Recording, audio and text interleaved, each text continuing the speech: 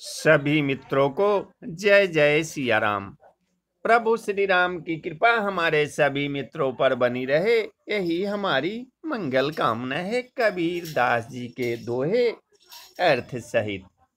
देह धरे का दंड है, सब काहू को हो अज्ञानी भुगते ज्ञान से।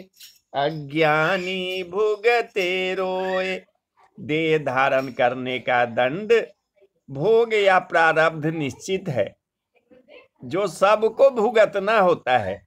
अंतर इतना ही है कि ज्ञानी या समझदार व्यक्ति इस भोग को या दुख को समझदारी से भोगता है, निभाता है, संतुष्ट रहता है। जबकि अज्ञानी रोते हुए दुखी मन से सब कुछ झेलता है। कबीर हमारा कोई नहीं, हम काहू के नाई। पार पहुँचे नाओ जो मिल के बिछुरी जाए इस जगत में न कोई हमारा अपना है, और न ही हम किसे क्या है। जैसे नाव के नदी पार पहुँचने पर, उसमें मिलकर बैठे हुए सब यात्री बिछुड़ जाते हैं वैसे ही हम सब मिलकर बिछुड़ने वाले हैं। सब सांसारिक बंधन यही छूट जाने वाले हैं।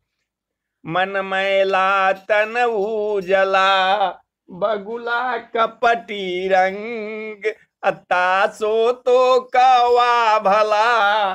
तन मन एक ही रंग, बगुले का शरीर तो उज्जवल है, पर मन काला कपट से भरा है। उससे तो कवा भला है जिसका तन मन एक जैसा है, वह किसी को नहीं छलता है। हार जले लकड़ी जले जले जलावन हार अकौती कहारा भी जले। कासो करू पुकार दाह क्रिया में हड्डियाँ जलती है, उन्हें जलाने वाली लकड़ी जलती है। उनमें आग लगाने वाला भी एक दिन जल जाता है।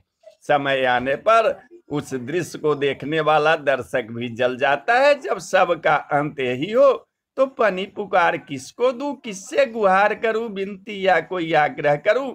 सभी तो एक नियति से बंधे हैं। सभी का अंत एक है। तो बोलिए सियावर रामचंद्र की जय, अयोध्या राम लला की जय।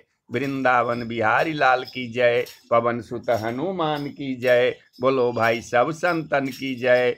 हर हर महादेव, जय शिव शंभो।